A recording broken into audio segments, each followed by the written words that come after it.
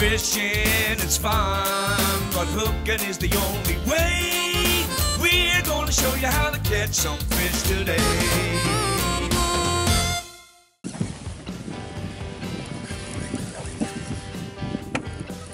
What you got, Alan? I got a big striper. I don't know how big it is. Probably like five, six pounds. I don't know. Oh, no, nice one. Caught him on A-rig.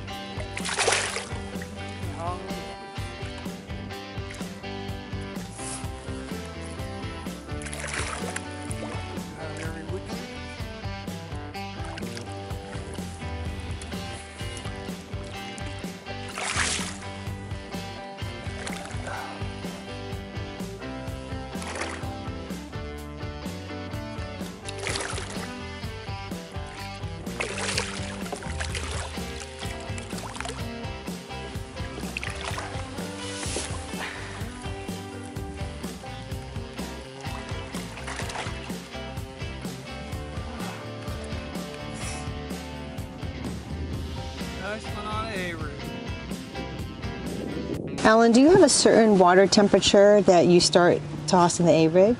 Yeah, usually when the water temperature drops below 58 degrees, uh, it's kind of a signal to me to pick up the A-rig. Because basically what happens is when the water temperature drops below 58 degrees, the shad seem to more to bunch up. You know, they spawn in the winter, so they bunch up more and gather up in groups. So yes, 58 below. Today was 50 degrees. So it has to be, usually I don't pick it up unless it drops below 58. You got, you got one? Got a big one. Lift it up gently. Lift it gently.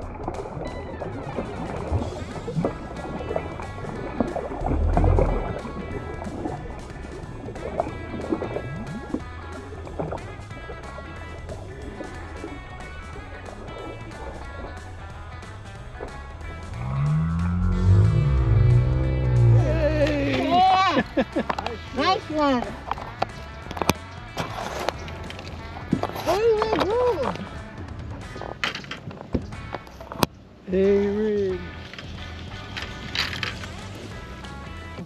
And today we came into the sloughs and we were, we we used two things. We used the birds and we used electronics. And can you talk a little bit about that? And those are probably the most important things. Like I couldn't fish if I didn't have my meters with me. Um, the birds are very important because you know when they're flying up high, they have some capability of looking. A lot of times, like this morning, you'd see them go like this and not hit the water. You know, they the bait fish wasn't getting pushed all the way to the top, but they knew they were on top of it, so they are milling around. If you see them milling around real tight, you know, like going around like this in a small circle, then most of the time you got a sea lion down there. But when they start roaming around, going like this, dipping, that's a good indication just to get over there. And I use my electronics. I got all the high-tech stuff on there now, and and I could we could see the fish. I mean, I could see them on 2D. I think you did some little video, and you could see the fish on 2D when they were right under the boat. You could see them clear as day. And then on the live, you could actually see my A rig coming back, and boop, see the fish eat it. It's not fair. There, see it? That's my A rig. Look at them all. See them on that 2D? And you'll see them on the live when they turn in a certain direction.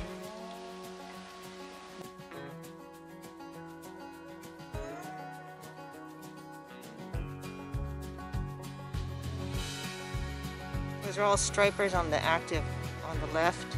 You can see them coming in.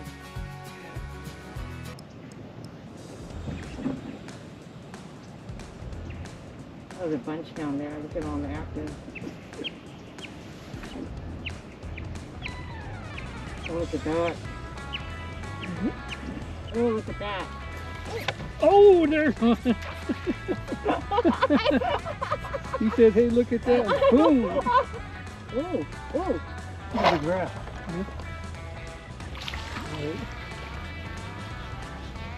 That was pretty cool.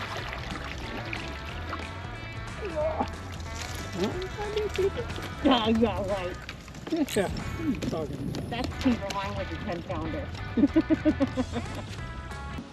And when you see sea lions, do you generally stay in that area or do you still Um, get bit? A lot of times they'll come in and chase the fish away, but I think if they're they stay a little bit away from you, you know, they're getting really brave. Today we saw four in there. We were only in a little area, maybe about a quarter mile, and there was four sea lions. But they seem to stay out, and just something told me, you know, like, go back over there and look. And we went over there and just hammered them. So it's just a these fish are just like any other fish. They use certain areas. Like there was one little area there, and we caught them there in the morning. Sea lion came and they all left. And then as we worked our way out, then the sea lions stayed way out there. So something told me just go over there and look. So we go over there and look, look at the meter, fish all over the place, and we started hooking them left and right. It's crazy. I mean, you were getting two, three hits on a cast.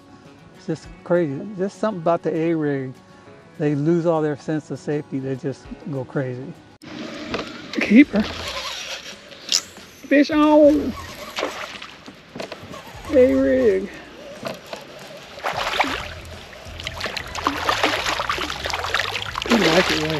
Something about. No, you ain't.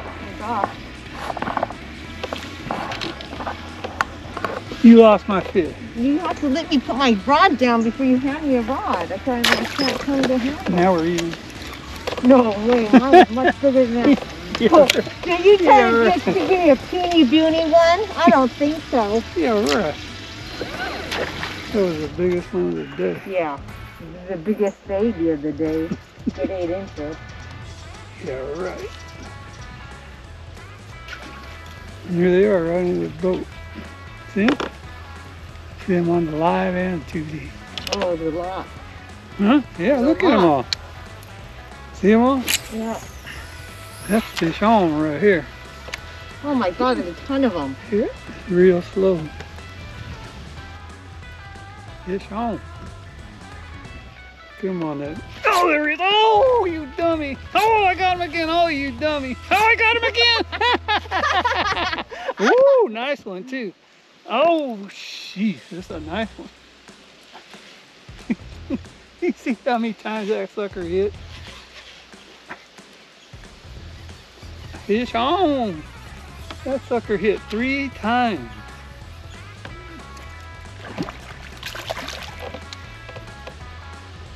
Nice one.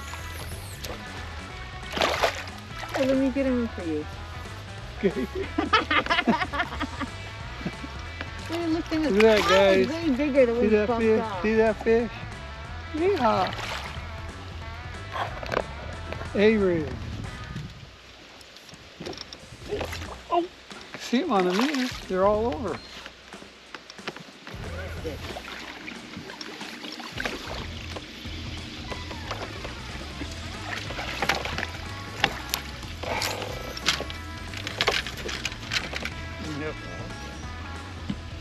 Oh, shoot, Remind me to get it at missed it. Huh? Missed another. I know they're right there. You, you could just jig it. These are nice fish. No, he's not. That's a little dinker. It's not a stinky, he's fine. Not even. Sorry, got bigger ones, so. Ah, That's not a dink, that's still a keeper. that ain't no keeper. Kidding me? That's a keeper.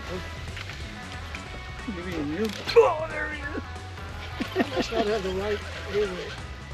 You got, you got, you got to hit the bottom.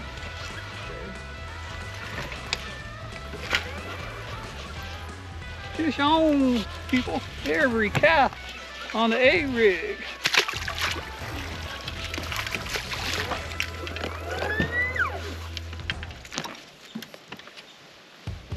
And do you find you get um, pretty good sized fish using a rig versus saying using a single fish trap? Oh yeah.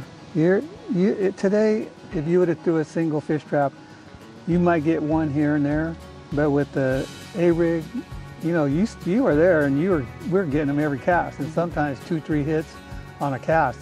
And like you, you couldn't even cast very far. You were still getting Hey. a lot of hits.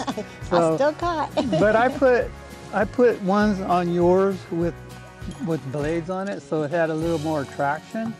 You know, it's more flash, so it seemed to attract them fish. Because like I said, I was casting twice as far as you, and I didn't have any blades on there.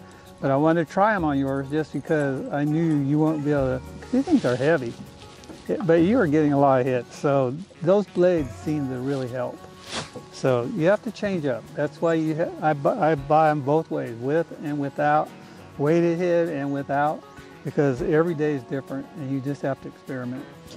And we were also um, reeling in differently. Like you, you like to cast out and you like to reel a certain way. And what I was doing, because I could see them on the meter that they are real low to the ground, the, the stripers, I was just letting it drop down, you know, 15 or 20 feet and letting it sit there Because and kind you- of bouncing it back. because when you cast, you can't cast as far, so you have to let it sink. Where I threw it out, and then when I started reeling slow, and we saw it on the live. I mean, you could, I could see where that A rig on that live coming back. I could see exactly where it is. And one of the things about that live target is that when the lure gets a foot or lower to the bottom, it goes away. You can't see it. You notice that? Mm-hmm. You can't see it. Disappears. So a lot of times the fish are up and then they'll go away. So as long as I see them come up and middle around and then go away, I know they're still down there. So I just let that A-rig drop down. I don't even see it, but I know it's there because I saw it go down there.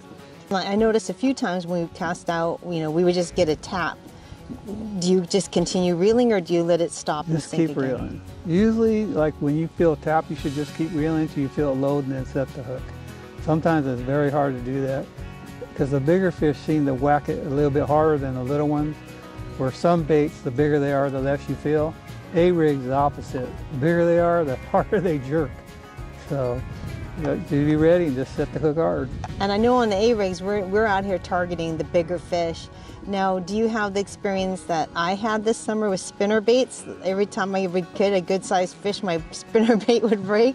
Or how are the, what is the durability of the A-rigs? The A-rigs are more durable. Um, most of them depends on they have like one especially for stripers and they're I think Rick uses for Blade Runner uses 54 thousandths wire so it's a lot stiffer and I would recommend using those for stripers and then um, some of the ones I think the smaller ones are probably still probably 38 thousandths and you know they're they're pretty flexible. And I haven't had very many of them break.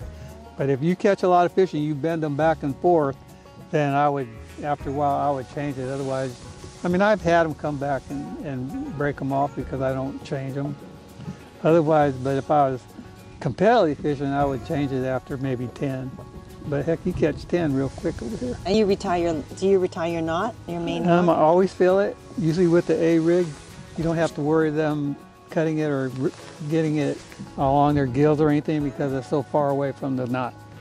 You know, it's six inches back behind the knot. So guys, when I tie this on to my rod, you do not use a swivel. Don't use a swivel, you know, where you snap it on. Tie direct. It works 10 times better. Just tie it direct because you don't want that mobility. You want it solid tie here. It's when you hook the striper or whatever you're doing with a A rig, I recommend not using a net because this thing will get tangled in there and you have play hell getting it out. You'll probably bend it and ruin it. So I usually just reach down and grab them. If it's a big one, then I use a gripper, you know, the thing that you grab the mouth with and lift them up. And one of the other things on these things when you storm on Blade Runners, he puts a, a ring right here. So I could slide this ring down. So on Blade Runner is A-rigs, see this ring right here? I slide it down like this and then it keeps it all nice and tidy for storage. Otherwise, how do you store them? I put a rubber band around. Okay. So guys, this last week I put a couple double digit fish in the boat, stripers on the A rig. I mean, it's very deadly this time of the year. So hope you like my video. If you do, please hit the like and please subscribe because it'll help my channel out greatly. Then if you look on the bottom, you could click that little button. You can leave me a comment. I mean, you could ask me anything I did on this video or any anything anywhere or anything about anything, and I'll get back to you in two to three days. So thanks for watching, and I'll see you guys next week.